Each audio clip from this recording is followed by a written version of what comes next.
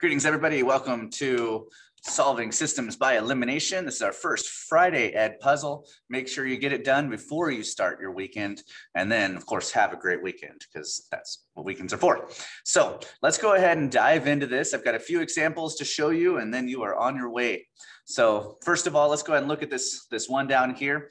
I've got x minus 5, x minus 5y equals 10, and I've got 2x plus 5y equals 5. All right, to go ahead and solve this, of course, what's the first step? That's right, we're going to go ahead and cancel out the two opposite numbers. Negative 5y plus 5y is going to cancel. We're going to add everything else together. So x plus 2x is 3x. 10 plus 5 is 15. Uh, 3x equals 15, which means dividing by 3 is going to give me x equals 5. That's one half of the answer, right? Second half is going to be uh, found by plugging the x back into one of these equations. Let's go with the top one. It's going to give me a 5 minus 5y equals 10. Subtract 5 from both sides. Negative 5y equals a positive 5. Dividing by negative 5, divide by negative 5. y is going to give me a negative 1. Okay, give me a final answer of 5 comma negative 1. Now, does it matter which equation I plug those into?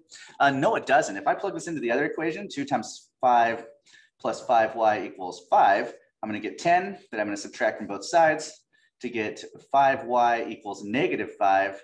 And dividing is still going to give me the negative 1. Okay, so it does work either way. That's the solution for that question right there. Go ahead and move on to our second example.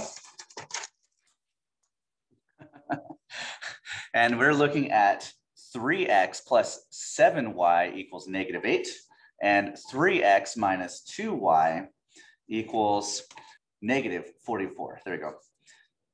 Okay, so of course, what's the first step? Well, I sure would love to cancel these out, but if you remember from yesterday's example with the burgers and french fries, right? Those three X's make six. They don't cancel out. So I'm actually gonna need to change one of these equations to make it work. I'm gonna go ahead and change the top equation actually, because, uh, wow, I really should change the other one. I'm going to change the other one. So I'm going to go ahead and multiply everything in the second equation by a negative one, by negative one, because that's going to change everything in there to another sign. If I have a negative 3x, they're going to cancel. So that gives me a negative 3x uh, plus 2y equals a positive 44. And then I'll go ahead and write the other one underneath 3x plus 7y equals negative 8. So notice these stay the same. It's only the top one that's getting changed. All right, now it's easy. I'm gonna cancel those out. 2 plus 7 is 9y. 44 minus 8 is gonna be, some of you did this in your head. By the time I wrote it into the calculator, it's gonna give me 36. Divide by nine, divide by nine, y is equal to a four. y is equal to a four. Okay, now that I have one, easy to find the other. I'm just gonna plug it into one of the two equations. Doesn't matter which one. I'm gonna go ahead and just choose the one on the top. Three times x plus seven times four is gonna equal negative eight. Now paying really close attention, the y goes with the y, right?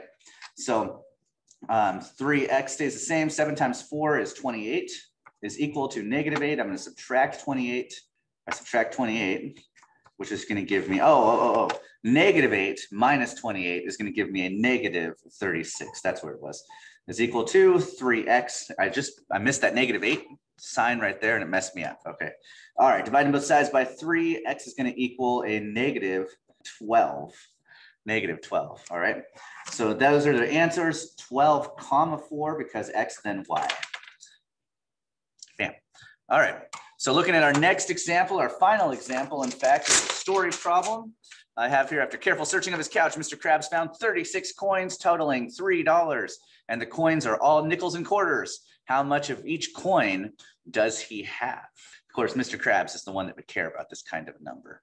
So let's go ahead and dive into it. First of all, we know that we have quarters and nickels, and we know if we add all the quarters and all the nickels together, we're gonna get 36 coins. So that's where I'm gonna start. Nickels plus quarters equals uh, 36, okay? And then of course, if we add the, um, the cost or the amount of each, we're gonna get $3. $3 is actually 300 pennies. So five pennies plus 25 pennies equals 300 pennies. That just got rid of the decimals for me, okay?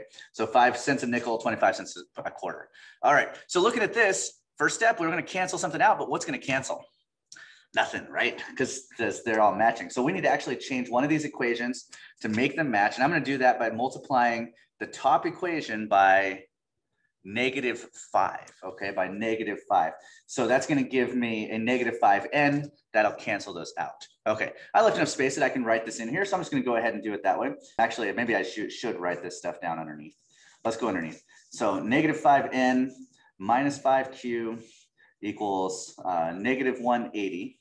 And now I'm prepared to add everything down.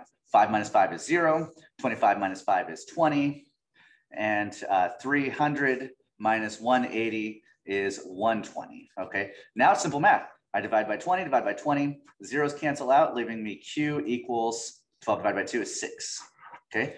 Q is six. Now I need to find the quarters. Now remember, if I combine the amount of nickels and the amount of quarters, I get 36 coins. So that means that if the quarters are six, there's gonna only be 30 coins left that have to be nickel. N plus six equals 36, subtract six, but obviously you guys knew it's equal to 30. All right, so writing this uh, this pair, it could be six comma 30, or it could be 30 comma six, just because there isn't an X and a Y, it's hard to tell which comes first.